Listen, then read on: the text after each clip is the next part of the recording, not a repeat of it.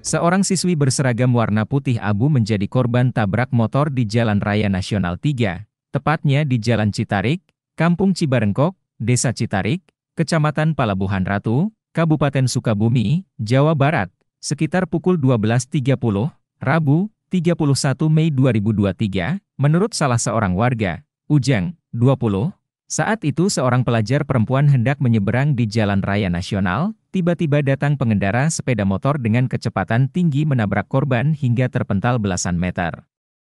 Kecelakaan itu terekam kamera CCTV di salah satu bangunan yang ada di pinggir jalan raya. Dalam rekaman CCTV yang beredar, terlihat pelajar perempuan yang belum diketahui identitasnya itu ditabrak pengendara sepeda motor metik.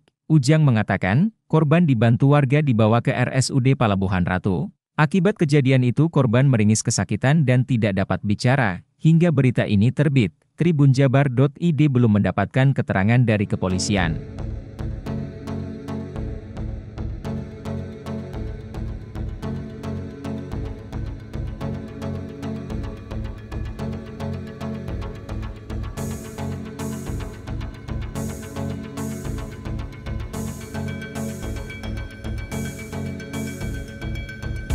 Terima kasih sudah nonton.